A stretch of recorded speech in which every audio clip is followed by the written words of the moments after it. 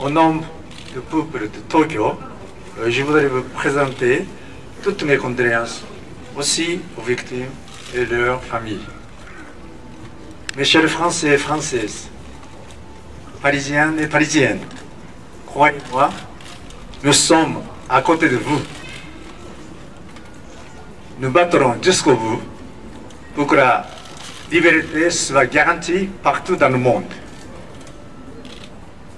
Nous répétons notre solidarité avec la France et, la communauté internationale sont unis pour combattre contre le terrorisme.